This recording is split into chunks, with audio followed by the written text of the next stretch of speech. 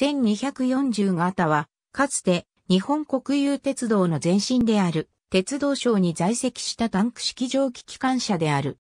元は、新宮鉄道が1919年にアメリカのボールドウィンロコモティブワークスで1両を製造した2気筒単式で飽和式の小型機関車で1934年に新宮鉄道が国有化されたのに伴い、鉄道小石となったものである。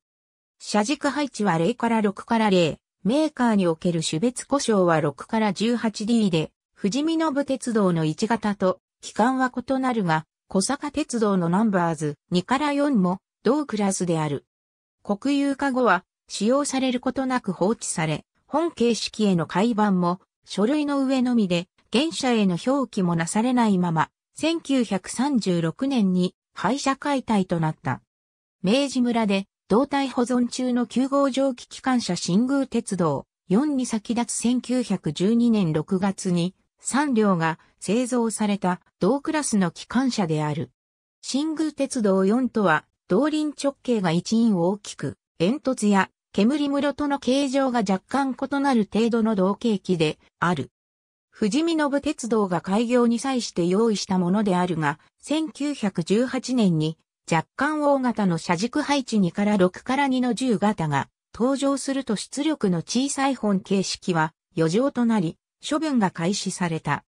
最初に処分されたのは1で、1918年11月25日付で、北海道の北海道製鉄に譲渡され、同社の 6S209 となり、そこで生涯を全うした。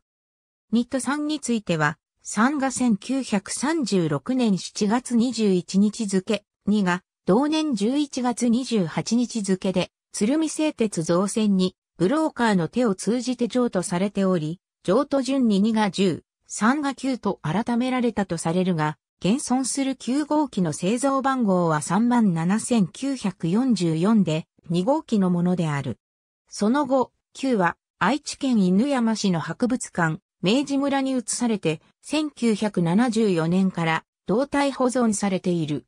2010年12月19日から老朽化に伴う点検により運行を休止したが、2015年3月15日から運行を再開した。ありがとうございます。